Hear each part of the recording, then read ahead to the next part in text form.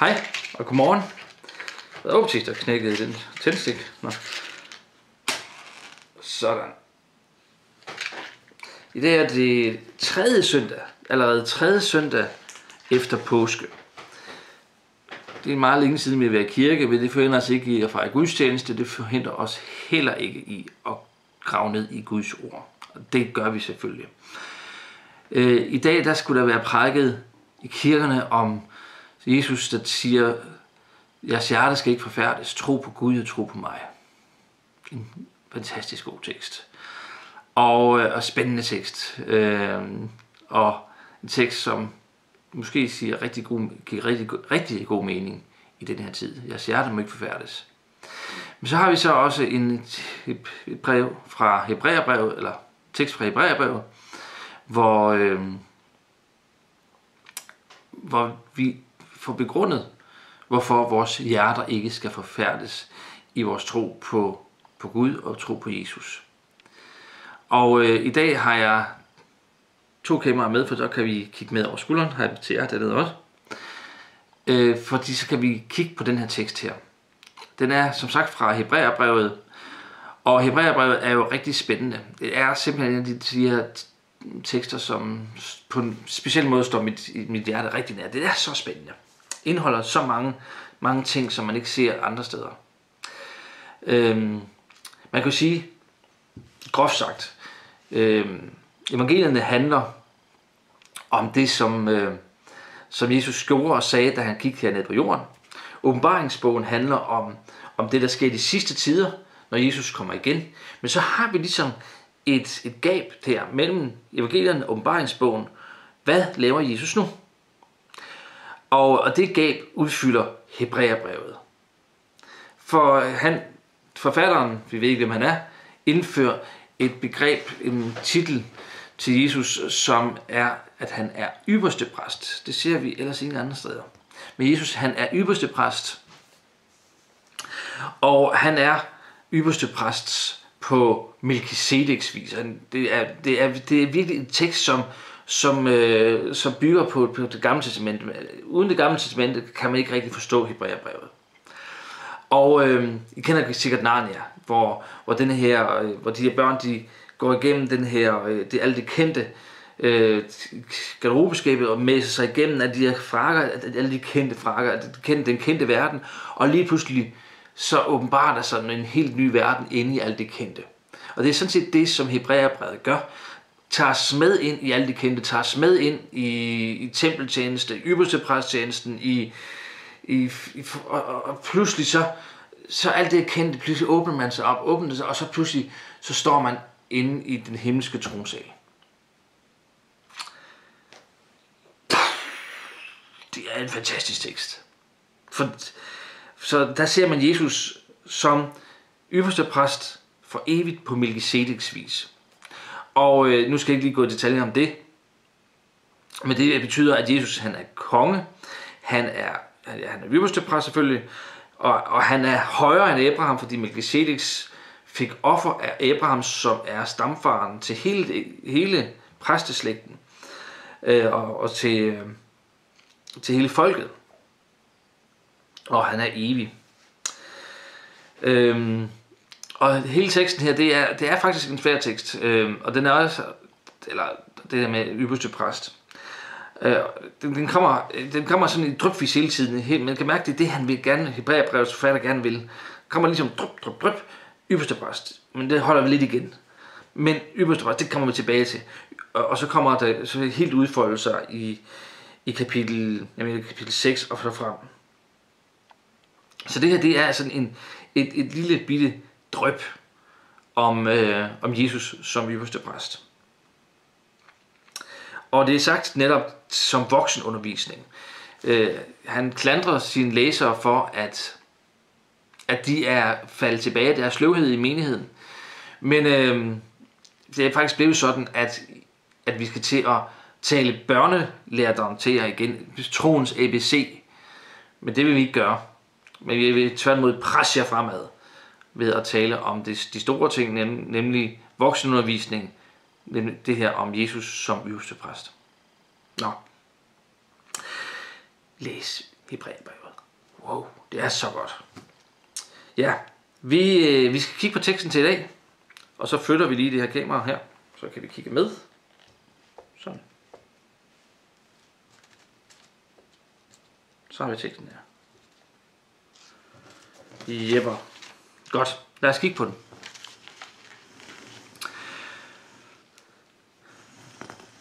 Ah, vi skal stadig lyse den her. Sådan. Lad os kigge på teksten. Ja. Øh, jeg vil lige igen, en lille finurlighed, når man læser i, i teksterne, til, øh, de bibelske tekster, det er at lægge mærke til de små ord. De små ord har så stor betydning. De små ord er som et lille ror, der styrer hele teksten. Og øh, det er ord som da, det er det ord som for.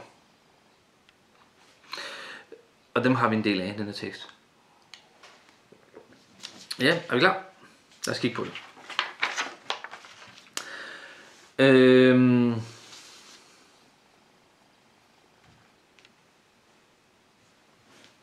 Ja. Teksten siger, da vi nu har en stor ypperste præst. Og det er altså Jesus, som er den her store ypperste præst. Øh, og egentlig i sig selv er det jo en gang øh, dobbeltkonfekt. Øh, stor ypperste præst. I selve, I selve ordets ypperste præst ligger der jo, at det er, at han er stor, at han er den største. Så, øh, så der er noget, noget dobbeltkonflikt. Øh, men, men øh, det her ord her stor, så ligger man op til, at, eller så ligger forfatteren op til, at, øh, at det er altså større end nogen ypperste præst, vi overhovedet kender til. Det er større end nogen, end hele den her aronitiske øh, præstes, ypperste præsts slægt, som var hen i templet. Jesus han er i en kategori for sig. Han er ikke bare ypperste præsten, han er en stor ypperste præst. Og øh, forfatteren her kommer ind på, på to grunde til, at, at Jesus han er den her store ypperste præst.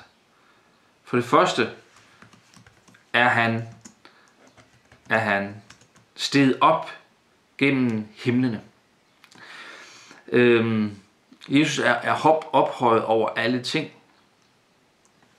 Hvis vi kigger hen i, i øh, Efterbrevet kapitel 4, vers 10, så siger Paulus, som der står her, han, som er steget ned, altså det er Jesus, er den samme, som også er steget op, højt over alle himle, for at fylde alt. Altså det er, det er Jesus, som som er, som er steget op gennem himlene. Det er den samme tanke har vi her. Jesus han er en stor ypperste præst, fordi blandt andet, fordi han er steget op gennem himlene. Derfor er han ophøjet. Og selvfølgelig også, fordi han i sig selv er noget stort. Han er nemlig Jesus, Guds søn. Så det er to grunde til, at, øh, at vi har en stor ypperste præst. Og så kommer de her små ord her.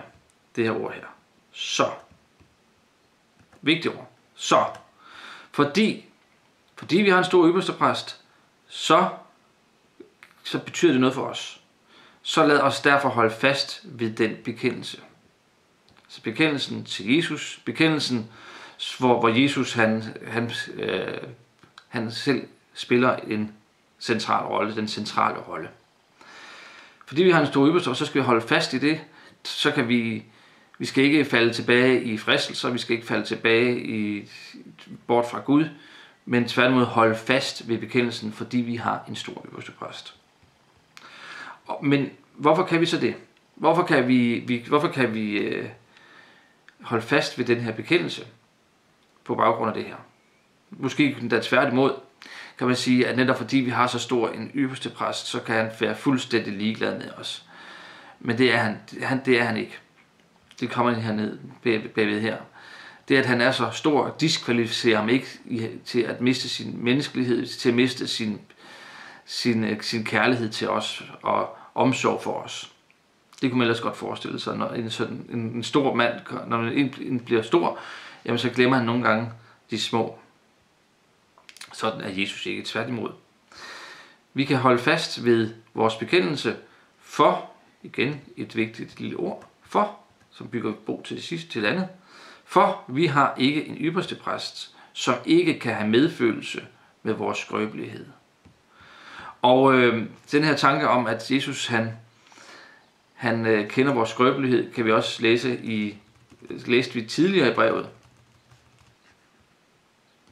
hvor øh, forfatteren skriver, Derfor måtte han, altså Jesus, i et og alt blive som sine brødre, altså os mennesker, for over for Gud at blive en barmhjertig og trofast ypperstepræst, der kunne zone folkets synd. For som den, der selv er blevet fristet og har lidt, kan han hjælpe dem, der fristes. Jesus han er altså en ypperste præst, der kan have medfølelse med vores, vores med, med, med os, fordi han, som der står her, han er en, der er blevet fristet i alle ting, ligesom vi, dog uden synd. Jesus han kender vores liv, kender vores fristelser, kender hvordan det er at, at leve som menneske med dets op- og nedtur, men han har gjort, levet det hele uden synd, underfald i. Så derfor kan han, men han har stadigvæk erfaringen med sig. Han har medfølelsen med os. Så derfor kan vi træde frem, kan vi, altså derfor kan vi holde fast ved den, den bekendelse, som vi har, fordi vi har en stor ypperstepræst, som ikke bare lader os i stikken. Og igen et, en konklusion sådan set på, på det hele, på alt det, det foregående her, som vi har heroppe af. Lad os altså, på baggrund af det her, lad os altså med frimodighed træde frem for nådens trone. Nådens trone, det er ikke øh, noget sædet henne i templet, eller zondækket. Det er oppe i himlen, det er Guds trone, det er der, hvor Gud sidder med Jesus på højre side. Øh, så den ypperste præst, som har bragt det endegyldige offer, og et, et endegyldigt offer ikke bare oksers blod eller lam, eller hvad man nu har bragt, men, men sig selv. Og så har han sat sig til højre, kommer vi senere ind i brevet, for, for Gud på nådens trone. Øh, vi kan træde frem med frimodighed. Det er et skønt ord, ikke? At vi, vi øh, selvom, selvom vi er den synder, som, som, øh, som ved, at vi ikke fortjener at nærme os Gud, så ved vi også, at vi er der ikke værd, men vi kan ikke være dig for uden. Og det kan vi gøre, vi træder frem for Gud med frimodighed, som den, det synder vi har, for, eller den synder vi er. Fordi at, at vi har den her ypperste præst. Den store ypperste præst. Så lad os, i stedet for at gemme os fra, fra, øh, øh, fra, fra Gud, så træde frem for Gud. Ikke ligesom Adam og Eva gemme sig i haven, for nu kommer Gud. Nej, vi kan træde frem. Vi kan da opsøge Gud og træde frem for nådens trone. Og hvad er der så i det for os? Jo, for at vi kan træde frem, for at vi kan få barmhjertighed og finde noget til hjælp i rette tid. Der kan vi finde barmhjertighed, der ved Gud, vi ved Jesus offer, kan vi finde noget og noget til hjælp i rette tid. Det må være vores bøn her i dag. At, øh, at vi må kunne have frimodighed til at træde frem. At de ting, som rammer os, de ting, som, som plager os, øh, måske endda også os selv, at vi ikke må forhindre os i at gå frem for Gud, og derhen det, det vi har brug for. Øh, hjælp i rette tid, tidslig hjælp også, værste hjælp, hjælp for til at kunne klare os her i, i den her coronatid. Øh, men selvfølgelig først og fremmest noget for, for situationen her i dag, den er den er ikke anderledes end ellers i forhold til Gud. Vi har stadigvæk synder, vi har stadigvæk brug for, for noget, vi har stadigvæk brug for tilgivelsen. Øhm, men, men alt det her kan, kan få nogen til at komme væk fra Gud. Lad os bede om, at vi må få hjælp i rette tid. Øhm, det må være min bøn her for dig, som måske sidder og, er ved at komme, gå, ud i hund, gå, gå, gå ud i hunden, eller hvad det nu hedder, at, øh, at du må folde dine hænder, og du må træde frem for nådens trone. Han, det kan godt være, at du føler dig ensom, men han er både ved din side, og han sidder ved den højestes højre hånd og går i forbøn for dig. Ja. Hvor herligt. I 241, det skøn, den skønne salme, Tag det sorte kors fra graven, så har vi også, øh, så har vi også det her med tanken om at ikke gemme os fra Gud, ligesom Adam og Eva gjorde efter de her synde, men tværtimod opsøge Gud, fordi her har vi en frels, her har vi frelseren. Så lad os prøve sammen at synge øh, de to sidste vers af nummer 241 af salmebogen. Og øh, det er det, der hedder Brister alle helgengrave. Brister alle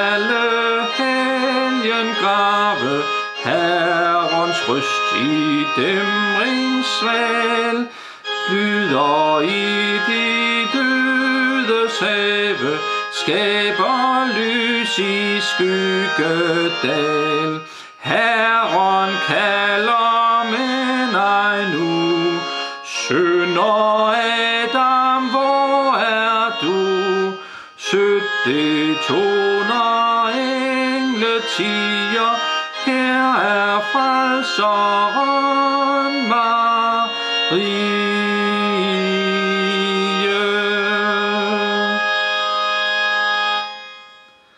Vi skal lige have, ja, han er her, guddomsmanden, sprængte er nu dødens barn.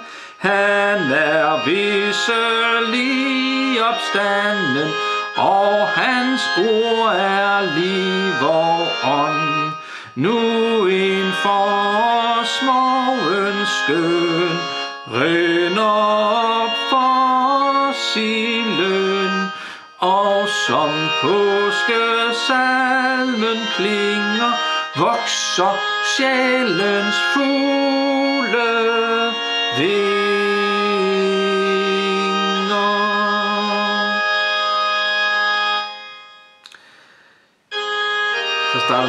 Det er der ikke nogen grund til. Men vi skruer ned. Så har vi den i baggrunden. Jeg håber, at du må få en fantastisk god dag. En fantastisk søndag. Gud kender dig. Han er ved din side. Så der var træde frem for nådens trone med, med øh, frimodighed. Herren velsigne dig, og bevarer han lader sit ansigt lyse over dig, og være der nåde, han løfter sit osyn på dig, og giver dig fred. Amen.